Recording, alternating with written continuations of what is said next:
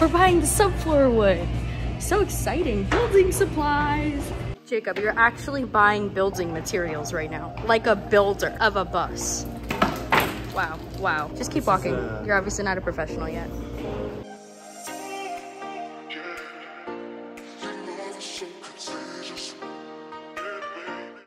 Twenty-two pieces. $355 later, we have the wood for our subframe on the floor. What? And bus bus is right there. All right, welcome back to this brand new episode.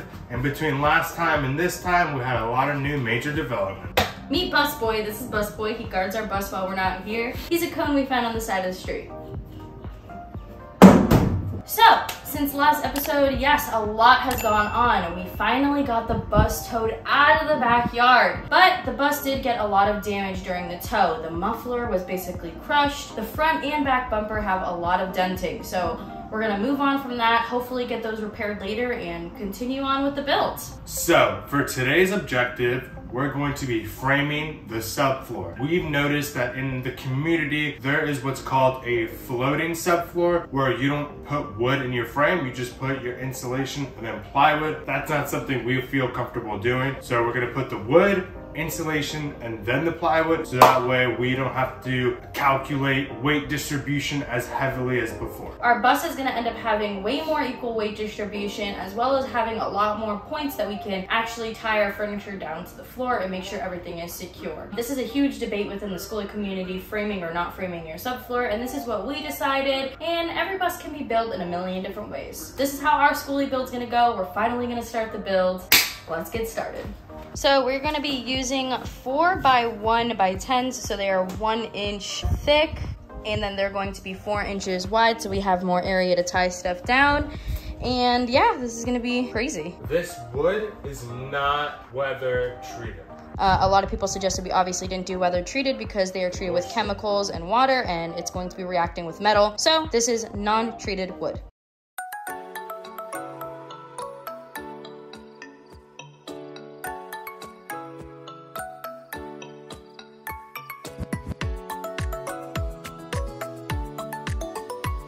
We got all of our wood measured out. We are about to start the cutting process. Super exciting! Finally framing out this stupid floor. Yes, baby. Yes, babe. All right, here we go. Beep. Beep, beep. Coming through, coming through. Building a house. It's your first wood splinter of our build. Let's see it. Let's see it. Here's a little bitty splinter. Ooh. Ah. Ah. Wow, you're a champion. Haul that wood. Get that wood. Go. Get that wood. We got all of our wood ready. How are you feeling? Good. First one done. We're done cutting all of our horizontal pieces. Woo! They all fit. So We didn't waste any money. No money wasted. And then here's all of our scraps right here, which we'll probably use to like frame out these types of boxes and this hole right here. So For we're doing sure. really good, babe. Yeah. Let's get everything out of the bus so we can see what it looks like. All right, we'll see you then. Now we're dealing with all the weird measurements. This box over here that we gotta measure out around here. These pieces are over here, like by the door, isn't long enough as a piece of wood, so we gotta cut some stuff, but we're gonna try to use this scrap first, so that we can keep as many whole pieces together and hopefully return them. Save that money.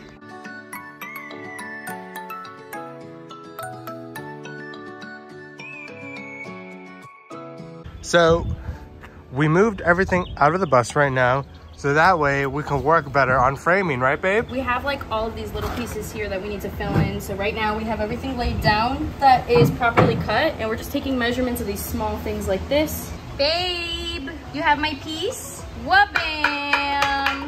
Thank you. Woo!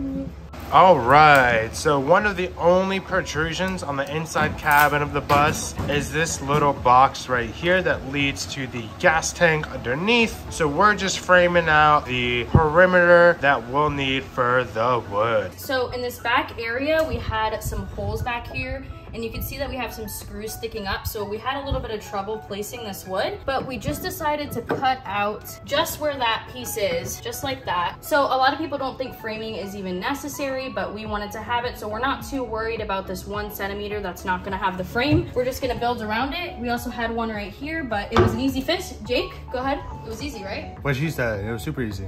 And we're gonna get to screwing these down and it's exciting stuff, guys, exciting stuff. Your hair looks fabulous. Thank you. So we're using these wood to metal screws because we are applying wood to metal. the screws that we have here are self-tapping, which means we don't have to do a pilot hole. We shouldn't have to worry about the wood splitting because these are sharp tipped, so they can go right through our material without worries. Yeah, are you excited? We're gonna put the frame in. I'm in. excited. Yeah, featuring my mom. Featuring your mom. Hashtag Skoolie Mom. Hashtag Hash- Jess and Jake's mom. Um, uh, this is actually what I look like. All right. All right, guys, let's get started. So what are what are we all using today? Okay, so we got our self-tapping screws, we got our DeWalt drills. Hold on, I have a question. Is it DeWalt or is it DeWalt? I find it to be Ooh. DeWalt. DeWalt. Right. Guys, give your answers in the comments below. anyway, this is a 90 degree angle protractor measure device. So we're gonna be using this here, making sure everything's good. And we're gonna get this frame done, doozy, and we're gonna get this plywood in, and we're gonna build this bus. Then we're gonna be on the road, and you're gonna be watching us. I'm highly qualified. Probably to Jacob, are you drilling in our holes in our bus? Dude, did we spend two weeks filling all the holes DC. now you're drilling more holes? to drill more holes? Hmm, interesting. We are. Let's do it.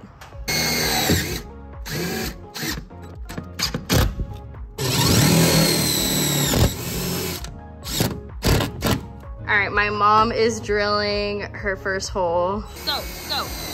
Woo! Wow.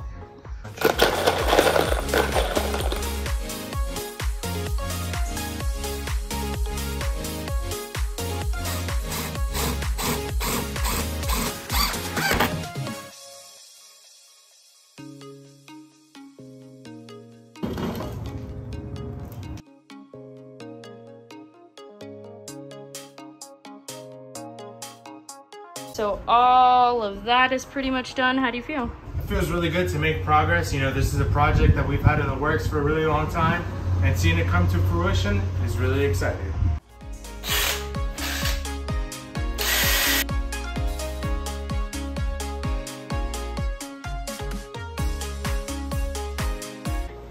Checking that 90 degree angle. Is it 90? Perfect, babe. Yeah, much better. Perfecto.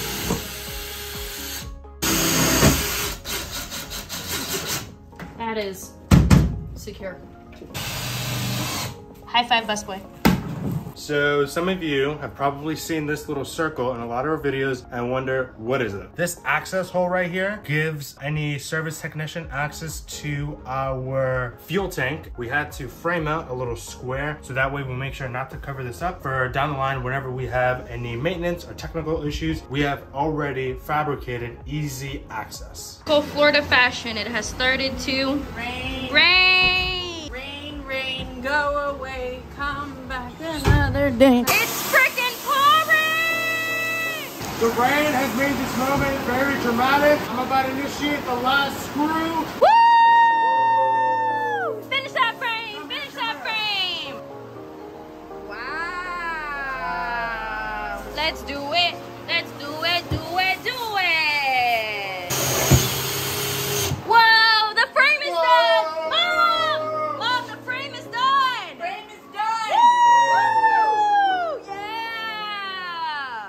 These are my crazy kids. They're doing a crazy bus.